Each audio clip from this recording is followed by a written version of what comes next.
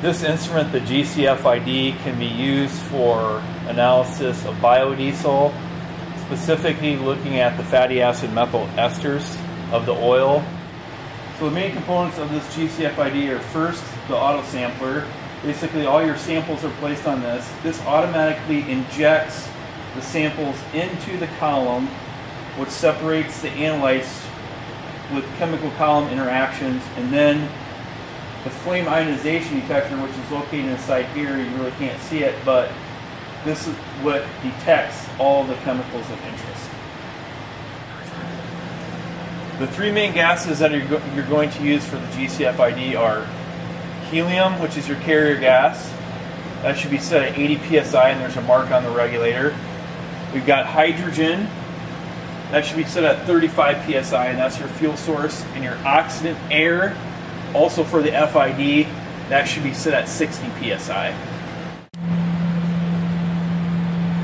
Okay, the first thing we're going to do is open up the Galaxie program. To do that, we need to double click on the user icon.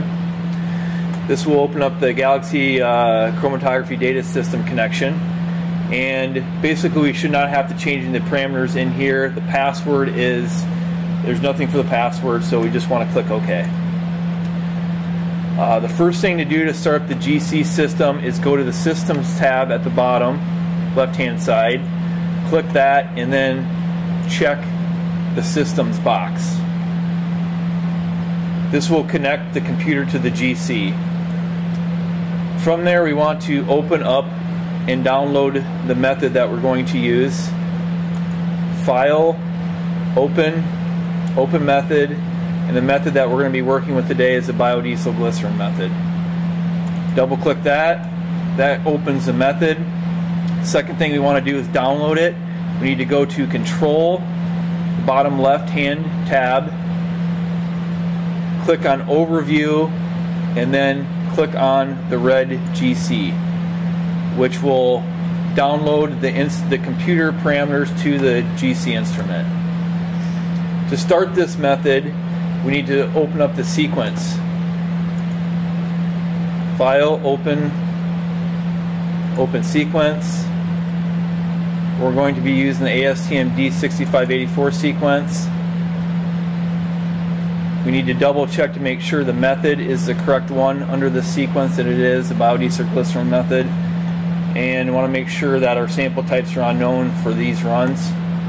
And then we'll just click the, the green start button.